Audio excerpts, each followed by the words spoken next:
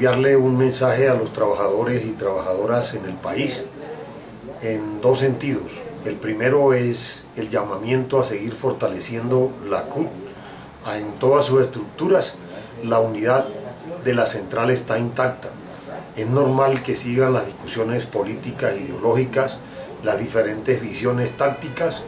Eso le da vida a la clase trabajadora y al movimiento sindical. Eh, hubo la necesidad de hacer unos ajustes en la conducción de la central, eh, lo cual esperamos trabajar con base en un documento de seis puntos consensuado en el Comité Ejecutivo a partir de las conclusiones del quinto Congreso, las declaraciones de las juntas nacionales y nuestro plan de acción estratégico.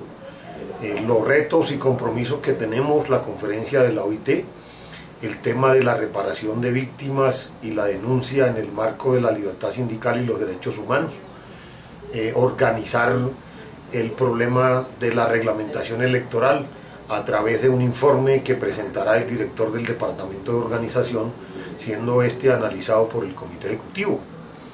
Y luego articular los conflictos con las otras centrales y articular la central desde una posición institucional en la mesa de organizaciones sociales y movimientos políticos, en la búsqueda de la construcción de una agenda única que nos permita interlocutar eh, con el gobierno y con los empleadores en los escenarios naturales, abriéndonos pasos a la propuesta de un nuevo modelo de desarrollo alternativo, democrático, con justicia social, donde lo fundamental sea recuperar el ser humano y la dignidad.